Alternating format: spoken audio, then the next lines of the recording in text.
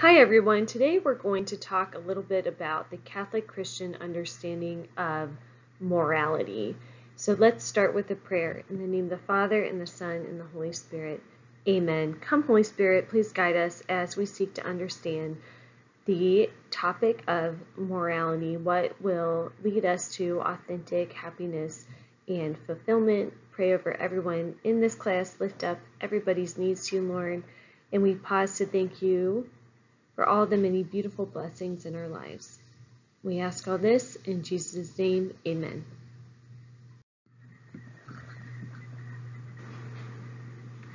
Let's start by defining what we mean when we mean morality. Often the first thing that comes to people's mind when they hear the word morality is right and wrong.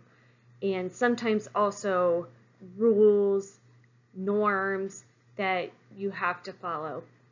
So this is part of morality and we'll, we'll get to that in a little bit, but this misses the boat as far as what morality is at a fundamental level. When we're studying morality, we're studying how to be happy. It's looking at what's the way to live that's going to lead to my full flourishing as a human being. And so norms and laws are a, are a part of that, and we'll see why. But morality is is much bigger than just laws and norms. And it's really worth looking at this question because happiness is ultimately the reason that we do everything. This was referenced in the Bishop Barron lecture that you watched. He talks about how happiness is the reason ultimately that we get out of bed in the morning, right? We you you got out of bed today and you're listening to this lecture because you want to pass this class, because you want to graduate, because you want to get a job, because you want to be able to provide for yourself and maybe a family someday. And you want to provide for yourself and a family someday because you sense that that's related to happiness as a human being, being able to take care of yourself and and meet your needs and also pursue recreation and things like that. So uh, even the smallest actions like getting out of bed are connected to these questions about what, what way of living is going to lead to my full flourishing, is going to lead to my happiness. And these questions provoke a further question, which is, is there a particular path to happiness? Right? Do, do all people have the same path to happiness? Is there a truly right way to live? Do we have a certain human nature that thrives on certain behaviors and doesn't do well when we pursue other behaviors? Is there something objective about morality? Or is it truly all subjective? This is looping back to the idea of moral relativism that we explored at the beginning of class. So th this question of is there a right way to live? Are there there norms and laws that are true for everyone that help guide us along this path to the happiness that we're seeking? Or is it truly just whatever we want person to person? And again, I want to note, as we discussed when we talked about the human person's call to love, when we're saying there's a right way to live, we're we're not saying there's no variety. So with within this kind of paradigm that there's a right way to live, we can still have different vocations as we stuff, discuss. Like I'm a parent and a wife and a, a teacher. You may be called to be a nurse or a business person or a lawyer, right? Some of you will have families. Some of you will be single. Some of you may be called to the religious life. So there's room for variety of vocation while still claiming that people have the same end, the same purpose, and there are moral norms and laws that apply to all of us. Those two things can go together. Okay, so when we're, we're looking at is there a particular path to happiness? Is there a right way to live? We're not saying everybody's going to do the exact same thing. We're saying, is there an ultimate end that we're all journeying to? And are there specific objective norms, laws that can that apply to everyone that can help us achieve that end? Okay, so and as we're considering this claim, this idea, this question about uh, is there a particular path to happiness, I, I, want you to ponder three analogies that I, I think can help illustrate what we're talking about here, what we're trying to get at. So first I want you to think about an arrow, like a bow and arrow. So what is an arrow made for, most fundamentally? Hitting a target. What if I decide I want to use this arrow as a drumstick? I want to use it for something else other than what it was made for. I can do that, right? I have the freedom, the capacity to do that. But what will probably happen to the arrow? It will probably break or be damaged in some way. So again, my freedom allows me to use something contrary to the end or purpose for which it is made, but that will probably lead to some sort of damage or lack of fulfillment of the inbuilt purpose, right? If I'm using the arrow as a drumstick, I, that's thwarting the arrow's ability to fulfill its end, its, its telos, what it's made for, hitting a target. Okay, now I want you to think about a car. What is a car made to run on? Gasoline. We all know that. Or in, in today's world, you now have some options for electric but no car runs on Kool-Aid, correct? So I can put Kool-Aid in my car. I can say, you know what? In my opinion, cars should be able to run on Kool-Aid. I'm going to put Kool-Aid in my car. I can do that, but it's not going to go well. It's going to cause serious damage to my car. Third analogy. Think about the human body. What's your body made to run on? Well, we do best, we thrive when we eat protein, fruits and vegetables, complex carbohydrates. That's what our bodies are made to run on, those healthy foods. I can decide, you know what, I want to eat Big Macs every day for every single meal. That's what I want to do. In my opinion, that's what my body should run on. And that might taste good or seem good at first, but over time, we know that is going to have detrimental effects to my health. I'm not going to be a healthy person. I'm not going to fully flourish if, or, or potentially not flourish at all eventually, right? If my arteries get clogged enough, um, if I'm eating Big Macs for every meal. So why am I talking about all these analogies? So we're asking this question, is it reasonable to assert there are certain behaviors that will not lead to human flourishing? Like, is there something objective about morality? Is it, are there certain things that are are wrong because they're they're genuinely going to thwart our flourishing? And we're going to look at the argument that yes, it is reasonable to assert that. It's reasonable to say morality is objective. There's certain behaviors that harm us ultimately. That's why there's moral prohibitions against them. And there's certain behaviors that lead us to flourish. And that's why there's norms encouraging or, or pointing us to or requiring us to do those things.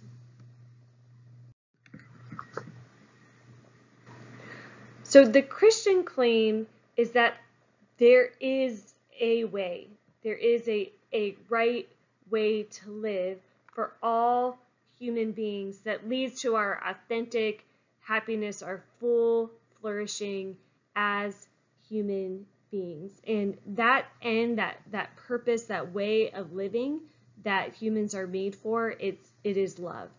So the Christian claim is that we are made for love. We are made for love of God and others. That's our end. That's our purpose. When we live in accord with the order of love, and, and we've discussed in this class that love has a nature, it has an order, and it's an order that's received, that's given, that's outside the self. It's something we, we encounter it's not created by the self. So again, Christianity claims moral realism, that there's a real standard for all people, that when we act in accord with that standard, we're going to find happiness and flourishing, and when we don't, we won't, versus moral relativism.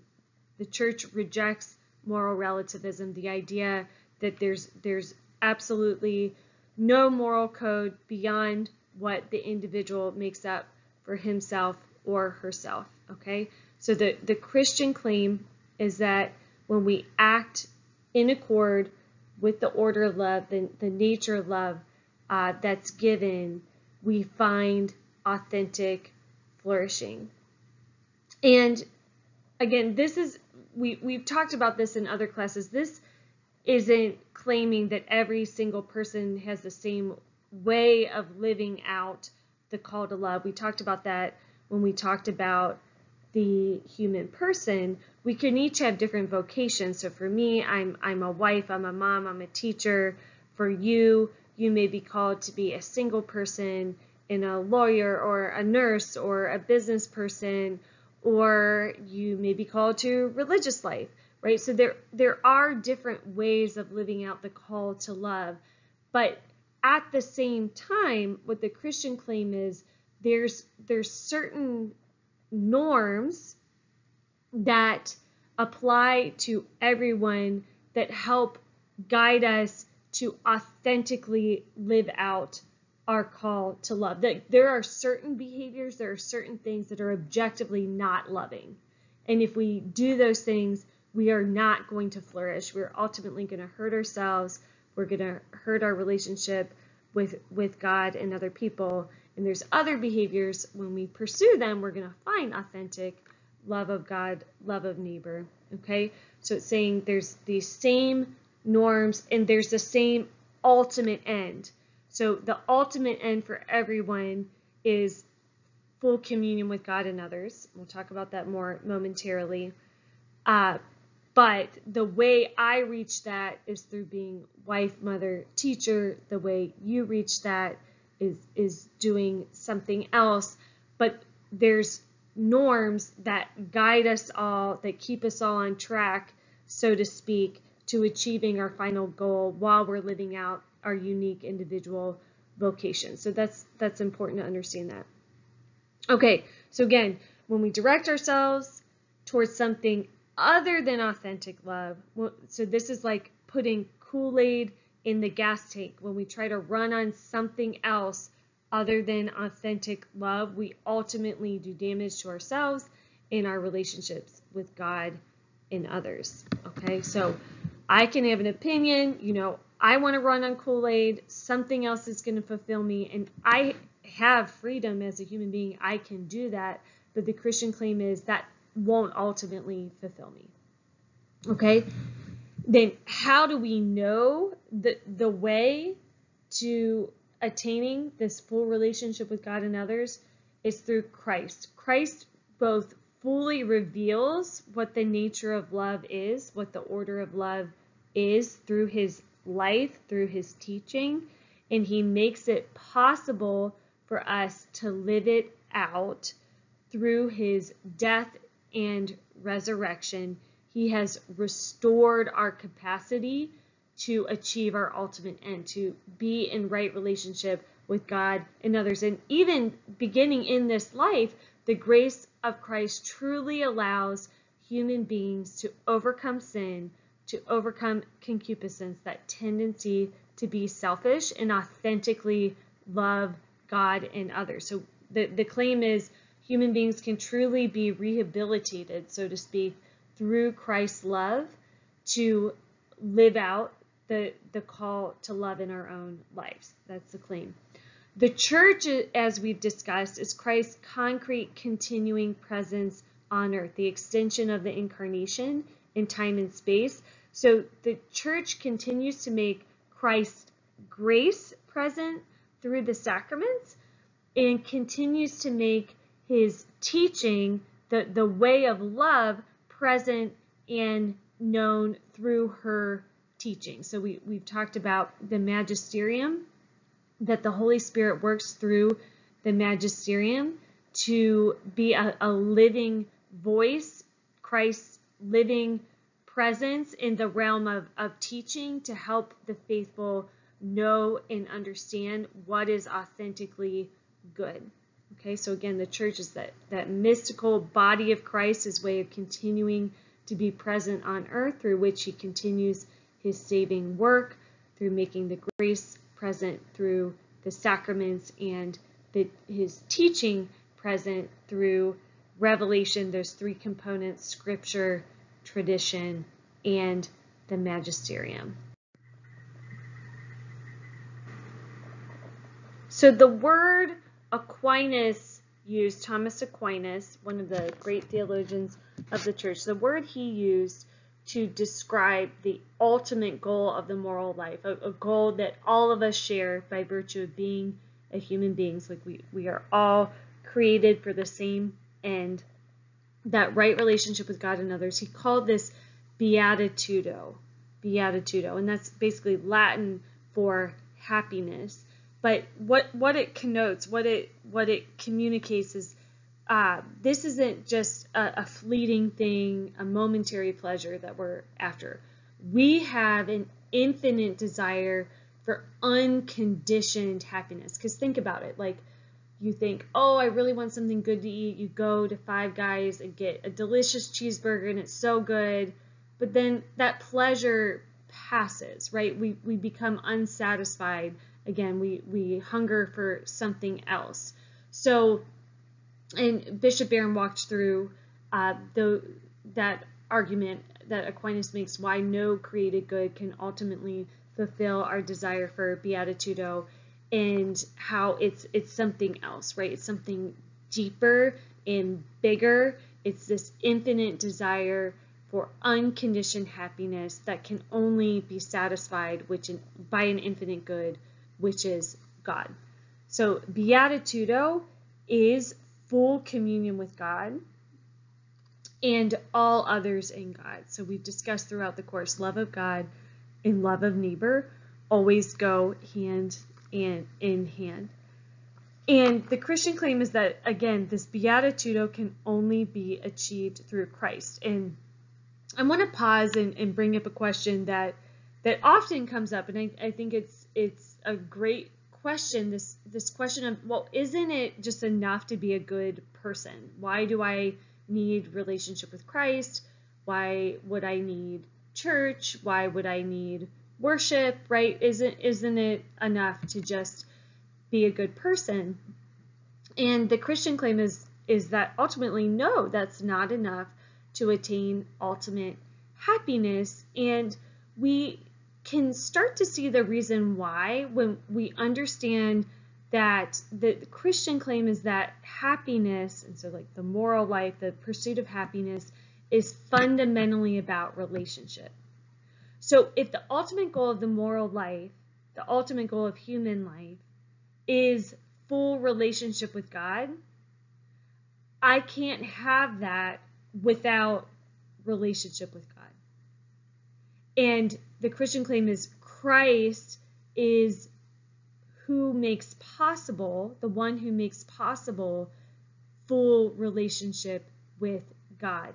Through his death and resurrection, he puts the person back into right relationship with God and gives the person the grace to fully live out authentic love of God and others. So if Beatitude was something else, then then being a good person might might be enough. But if if it's full relationship with God and others, and that is the Christian claim, is that the person can never be fully happy without God, because God is the greatest good, and it's it's it's what He is who we are made for. That's that's the claim that creation He made us out of His goodness for relationship with himself.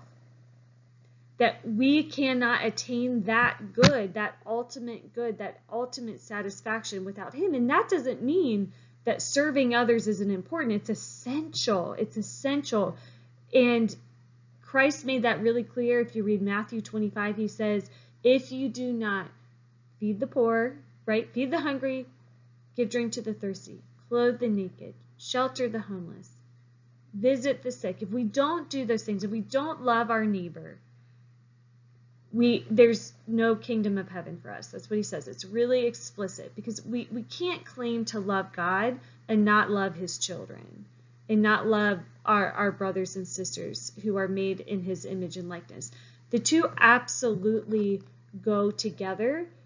So it, it's not saying love of God to the exclusion of being a good person and loving your neighbor, but it's saying we really need both and that it's only through being in relationship with God that we can fully love our neighbor, that we can fully overcome our sin and selfishness and make a pure, complete gift of self for the sake of others, not for what they can do for us, like Christ did on the cross. Okay, so the claim is that loving, love of God, love of neighbor go hand in hand. Both are completely essential. Okay, so this helps us understand what Christianity means by good and evil. When we think about good or right acts or evil or wrong acts, this, this helps us understand what is meant. So acts that are good lead us into deeper relationship with God and others. So they lead us into deeper relationship with God and others. And that makes sense. They're loving actions, love of God, love of others leader, it lead us into deeper relationship. Acts that are not good, acts that are evil, there's there's an absence of good. These acts are failures to love. So when we fail to love, what ha what happens? It it breaks down. It hurts the relationship. It distances us from God and others. So wrong actions, evil actions lead us away from beatitudo, that complete relationship with God and others that our heart desires. Um, and again, talking about that heart's desire, St. Augustine said, our hearts are restless until they rest in you, O Lord. The, the understanding again is that the human person is made for God and in full relationship with him, in relationship with others in him, that, that charity, that full relationship with God and others. Anything else is Kool-Aid, right? Anything else other than authentic love of God and others is ultimately going to be unsatisfying and hurt us, um, even if it doesn't appear to at first, like eating the Big Macs. It may seem good at first, but eventually the bottom is going to fall out. And um, another quote I wanted to mention to, to wrap us up on this point here, this, this claim that we can only achieve beatitude through Christ. This is what Christ meant when he said, and this is uh, him speaking, recorded in the Gospel of John, chapter 14, verse 6. Jesus said, I am the way, the truth, and the life. No one comes to the Father except through me. So Jesus is the way.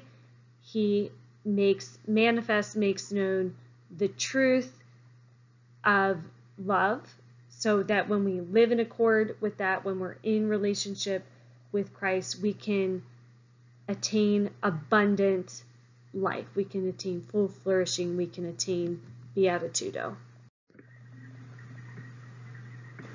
Now I'd like to discuss in greater detail the parts of a moral act. So as we discussed on the last slide, a good action is one that moves us deeper into right relationship with God and others. It's authentically loving. It gets us closer to beatitudo.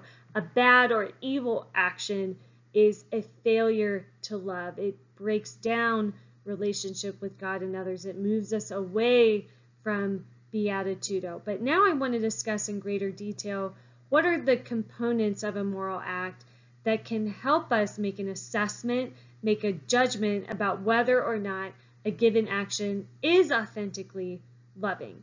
So there's three parts of a moral act. The moral object, which is what is chosen, what the actor is intending to do. The moral end is why the action is chosen, and the circumstances are the unique features of a situation. All three need to be good or appropriate for the action to be good. If, if one is bad, if one is problematic, then the action is bad. The action is evil. The action is problematic. Okay, so a classical example to help us sort out which one's which is there's a, a, storm at sea, there's a ship, it's about to go under, so the crew throws the ship's goods overboard to save the ship. So the moral object is throwing the ship's goods overboard, what the crew is actually doing. The end is the why, which is to save the ship, and the circumstances are that there was a terrible storm. So all three need to be, be good or, or fitting uh, for the action to be good. So in this case, the, the moral object, there, there's no absolute norm prohibiting throwing a ship's goods into the sea, okay? So we need more information to know if this was a, a, a good action, but it's, it's not intrinsically evil, and we'll talk more about what that means in a moment. To, to save the ship, the reason is good, and the features of the situation, a terrible storm, there's no other option, the, the circumstances are, are fitting, so this would be a good action, okay? But all three need to be good or fitting for the action to be good. In the Catholic Christian understanding of morality, the end does not justify the means. What does that mean? It means you can't do an evil, a bad moral object for a good reason. Doing evil, breaking down relationship with God and others is always evil. So there's an understanding you can't try to do evil to achieve good. It's and, and when you think about it, it's oxymoronic. Doing evil to do good, right? It you're still doing evil in that situation. So let's give a few examples. We intuitively understand this, right? We we understand doing the wrong thing for a good reason is still wrong. So stealing to donate to a charity, that's still wrong. Okay? Uh, and, and we, we understand that not every way of seeking to solve a problem is a good thing. So say that the foster care system is broken. I frequently hear people say that. Well, we would never say, well, to fix that, we should terminate the lives of foster children. So we understand even if we have a good end, right, ending child abuse in the foster system, there are some means to that end that are good. There are some that are evil. We can't do evil for the for the sake of good. It's still evil, okay? It, it, even if we are doing it to end child abuse, ending the lives of foster children would not be acceptable, right? ending poverty, that's a good end. We would never say, okay, the way we're going to do that, we're all going to go out tonight, steal as much as we can from a grocery store and give it to the poor. No, we would understand that is not a good means to an end. For it to be a good action, we need good means and a good end. Okay? Um, so doing the wrong thing for a good reason is still wrong. Doing a good thing for a bad reason is still wrong. So, for example, if I donate to charity to bribe a politician to do something unethical, that is wrong. Okay? Also, doing a good thing for a good reason in problematic circumstances, that is still wrong. So, say I'm going to the store to buy food for my family, that's a good thing. Um, right? Good object, going to the store, good end to buy food. But say I do it leaving my baby at home by himself. That would be a bad action. That I would be being a negligent parent, even though I was doing a good thing for a good reason. If the circumstances aren't appropriate, then it can still be, and it is still, a bad action. Okay, so again, to, to sum up what we're getting at here, it, there's this maxim, the end does not justify the means. To truly be doing good, we have to have a good object, a good end, and fitting circumstances. So to choose evil, acting against the good, even for a good purpose, it's still turning away from and damaging our relationship with God, who is the good itself, and others, right? So when we act against the good, we're always ultimately acting against God and others, undermining the, the purpose that we're setting out to achieve authentic love of God in others. Okay.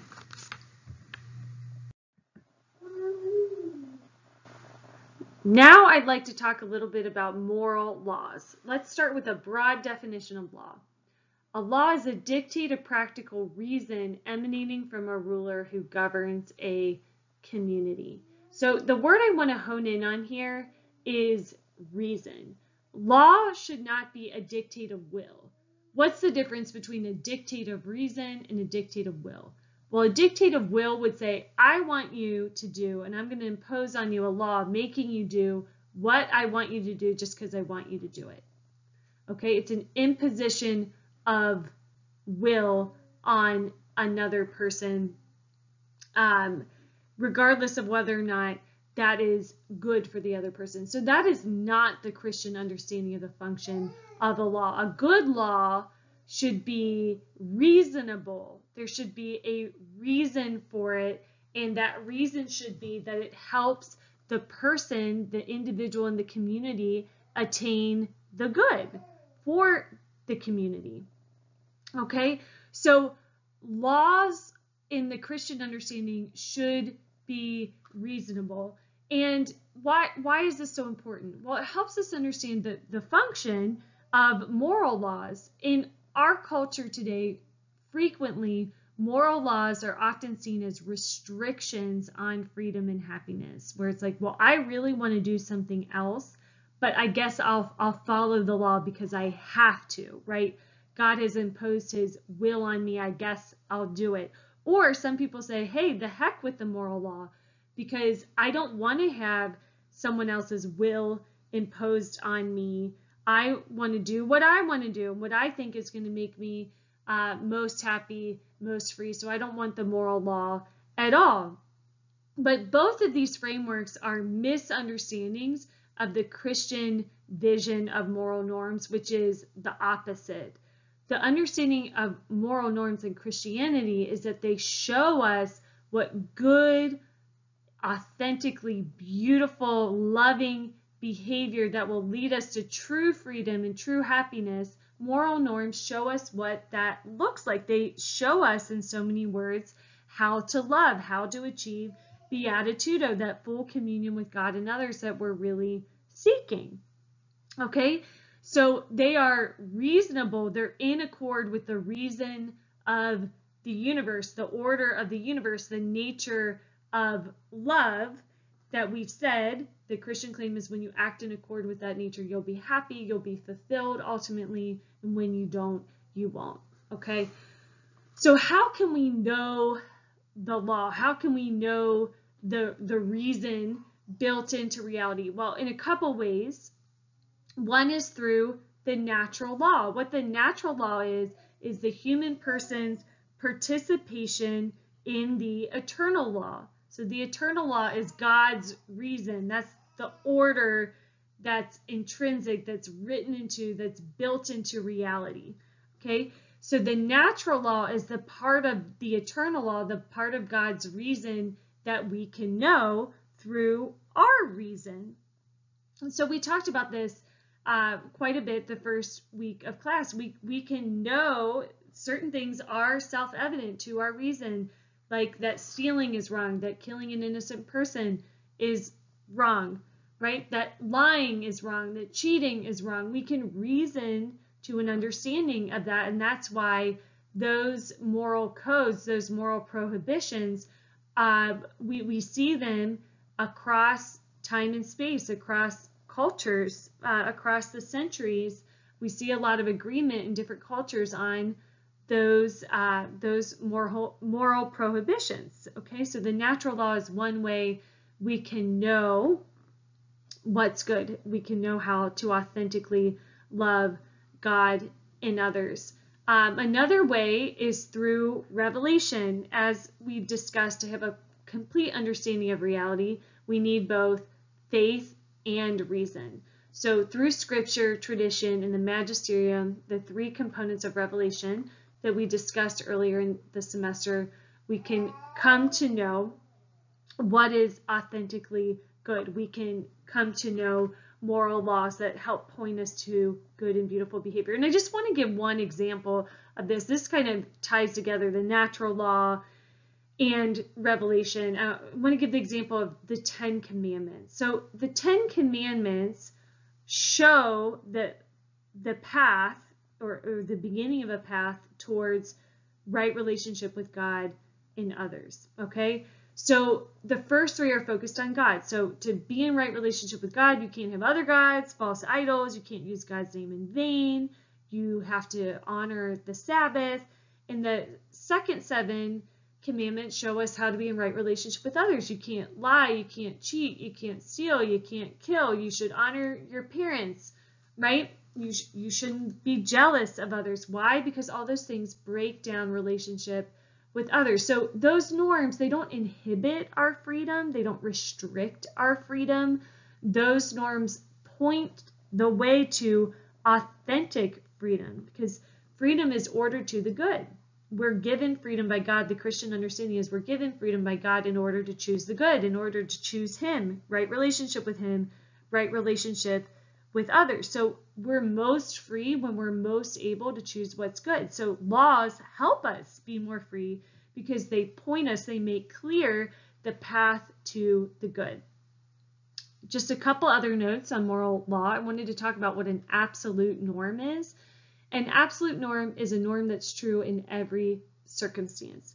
So some norms are absolute, some of them we just mentioned, like you can't kill innocent people, on purpose. You can't steal, uh, deprive others of their rightfully owned property on purpose. Okay, so there's some norms that are absolute. Those are moral objects. You you can't uh, choose them and be choosing good. No moral end justifies uh, the the violation of an absolute norm. Okay, so those are ones that doesn't depend on the end and the circumstances. The, the object in and of itself is a problem when, when an absolute norm prohibiting something is involved. And like I said, kind of the quintessential example of that is not taking the life of an innocent person. Other norms are, are not absolute. It does depend on the circumstance to assess whether or not an action is, is truly good or not. I also wanted to revisit the concept of culpability. We talked about this a little bit when we talked about sin, and sin is a failure to love. And we talked about for something to truly be a sin, it has to be a wrong action. So the by uh, the standards we just discussed, object, end in circumstances. So it has to actually be wrong. You have to know it's wrong and you have to do it anyway. So there are cases where someone might violate a moral law. They might fail to love. They might reject the good. But if they didn't know that what they were doing was wrong, or they uh, were pressured, they were under duress, they might not be blameworthy or as blameworthy for the action, they might have less culpability. But that doesn't mean the law in and of itself is is not true, that it doesn't hold. It, it does hold. It does point us to the fact that a given person's action was objectively wrong, but subjectively they might be more or less blameworthy depending on the amount of knowledge and the amount of freedom they had in making that choice.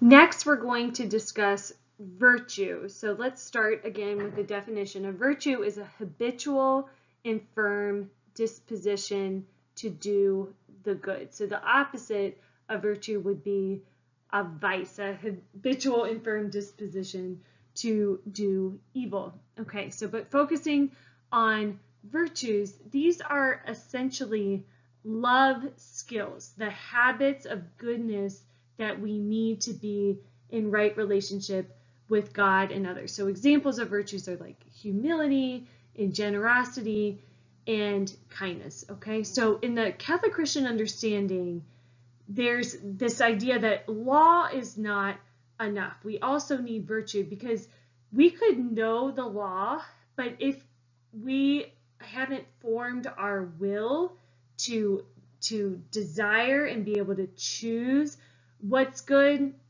the law isn't going to be fully helpful to us. So virtue is the skill. So think about sports, okay? Think about tennis as a sport that I like. So I could know all the rules of tennis, but be really bad at tennis. Why? Because you have to learn how to play the game. You have to develop skills. I have to learn how to hit forehands and backhands and serve and come to the net and know when to do that and all those different things. So the skill, that's like the virtue. So I need both. I need to know the rules and I need to have the habits, the skills the, to play the game. And you can think about any sport is like that. Basketball, baseball, you both need to know the rules and seek to follow them, but also have the skills to actually play the game. Okay, so virtues are like the skills that help us uh, help us love, right? Play play the game of life where the goal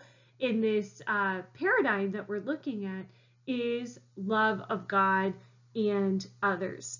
Okay, so we need both law to point us to, to show us, okay, this is what good behavior is. And we need the virtue that the habits, the skills to actually live that out. That we need both. They go together. And how do we build virtue? By doing good actions, right? One good action begets another good action. You know, at first it can feel hard to be good. Say you're kind of a selfish person, you don't have that virtue of generosity. Well, at first, you know, you might want to be generous, but you feel like you can't do it. And then eventually it's like, okay, I, I can overcome that through willpower and God's grace combined. I can start doing generous actions. And then the more you do generous actions, the more you get in the habit of doing generous actions, before you know it, you become generous. You're not only able, but you actually want and are disposed to do more generous actions. So virtue also too, it helps us see how all our actions are connected. And it shows us how with morality, it's not just about doing good, like in the sense that it's outside of us, we're, we're doing, we're producing good in the world. Our actions also have an effect on us. They affect what kind of person that I'm becoming. So when I choose a good action, it has an effect on the world that's good, but it also has an effect on me. It helps me become a good person who's more likely to do another good action in the future. And, and again, the, the same is true with evil. When I do evil once, I'm more likely to do it again in the future. It has an effect on the world, but also an effect on me. It makes me a vicious, right, a vice-filled person when I repeatedly choose evil acts. Okay, so um, there are four what are known as cardinal virtues. They are prudence, temperance, justice, and fortitude. Cardinal means hinge, and the reason these are, are upheld as the four cardinal, cardinal virtues is regarding worldly, interworldly behaviors, uh, all other virtues flow in some way from these four. So prudence is known as the mother or charioteer of all the virtues. It's the ability to see what's good. And you can see this is essential. If we can't see the good in a situation, we can't choose it. Temperance is the ability to desire and enjoy worldly pleasures well. So things like food and video games and entertainment and sex would all be under the realm of temperance. Um, then justice is giving others their due, and fortitude is courage. So these four, in regard to inner worldly behaviors are the basis for all, all the other virtues. Then there's three what are known as theological virtues, and they're theological virtues because they're oriented directly towards God. So faith is essentially believing well, hope is desiring uh, well, desiring uh, things, uh, heavenly things, supernatural things well, and charity, we've discussed this at length, is that capacity to fully love God and others. So faith is about believing, hope is desiring, right? Full communion with God and others, and charity is actually living, experiencing that full communion with God and others. And it's only through God's grace that we can live these realities out. Faith, hope, and charity are gifts from God. So, as we said, law needs virtue, and also virtue needs law because it helps us uh, see what's good. Sin can cloud our judgment. So, moral norms give us clarity regarding what is truly good and what is evil. And again, then virtue is that skill of being able to live out the good. Lastly, I'd like to say a word about conscience. What is our conscience? It's our human capacity to know right and wrong. So our, our conscience is what allows us to exercise that virtue of prudence we just spoke of, that ability to see, to know the good in a given situation. So our, our conscience enables us to live the good life, the, the moral life, the happy life, because it helps us. It's our capacity to discern, to see through the use of reason and revelation what is truly right, what is truly wrong. So uh, there's an understanding in Catholic Christian theology. Some people are surprised by this that the church says you should always follow your conscience. Okay, you should always follow your conscience, but there's a very important caveat. We also have a duty to form our consciences. So there's an understanding that our, our conscience, our capacity to know right and wrong can become obscured. It can be obscured by sin it can be obscured by our formation. If we grow up in an environment, say, for example, that's abusive, you might grow up thinking abuse is okay when it's not okay. Or it could be an environment where your parents or your peers consistently teach you that certain things that are wrong are are right and that could affect your ability to discern right and wrong on your own so our, our consciences can be malformed by different different things. Um, but they can be reformed.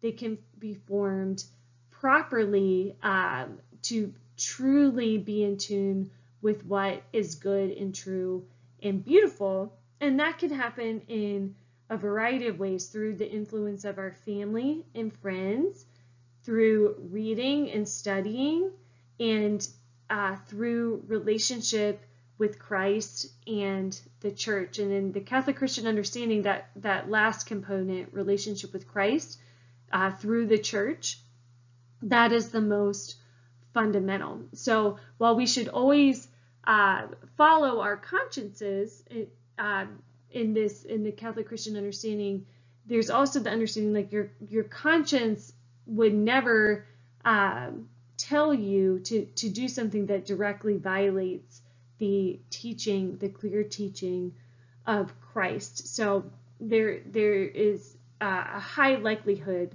right, if we are um, thinking, coming to the conclusion that something is right that's in clear contradiction of the teaching of Christ, the understanding would be our, our conscience has been malformed for, for some reason and we need to seek to form it in accord with Christ through relationship with Him that is facilitated by the church and her teaching and sacraments that are Christ's continuing presence on earth. So, I hope that this presentation helped to shed light on some of the key aspects of the Catholic Christian understanding of uh, morality. And if you are interested in this topic, I encourage you to go deeper by uh, pursuing, I, I, teach another course on morality. Um, if you'd like to know more, we can dive deeper there. But hopefully this gave you enough